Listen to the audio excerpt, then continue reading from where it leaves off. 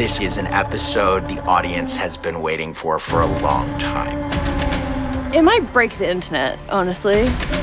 Fans will lose their shit.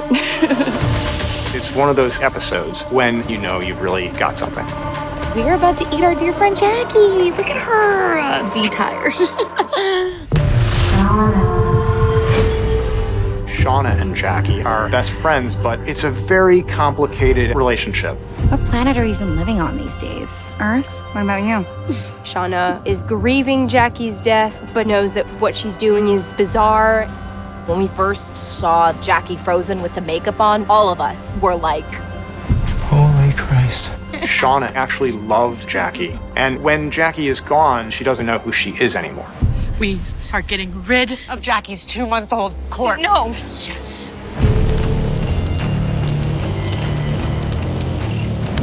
What starts as an homage to the legacy of Jackie becomes something far more sinister.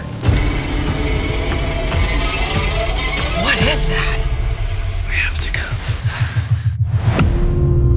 go. Wow. Looks amazing. this is fucking crazy. When we eat Jackie, it might be a little controversial, but it's the coolest thing I've ever gotten to do.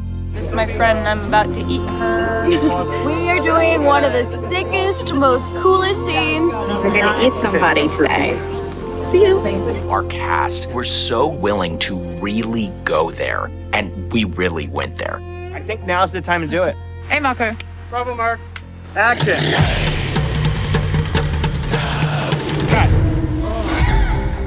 The props department did an absolutely fantastic job and made the body edible. All right, so we're so dressing the body with some jackfruit and rice Of course, we called it Jackie fruit because it's Jackie. Yeah, a little bit of Jackie magic. I just started eating Jackie's face. What does that say about me? Let's not look into it too much. We're kind of all going, are we really doing this? Let's I don't like chewing this and looking at us. all right.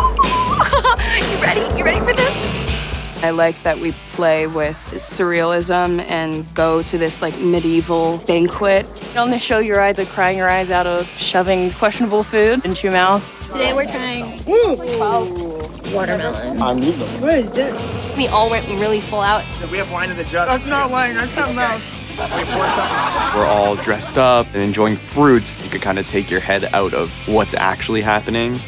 The way it was written with us completely disassociating from our bodies is so complex. Imagine this being an extension of you guys making that decision to take that first bite. It's something that you could only find in an episode of Yellow Jackets. The show is not about whether they're going to eat each other. The question was like, how do we continue to sympathize with these young women as they go through this trauma? I don't think we've seen something so uncomfortable in TV recently. The taboo breaking is haunting, but at the same time, if we did it right, we hope that you're also moved by the end of it.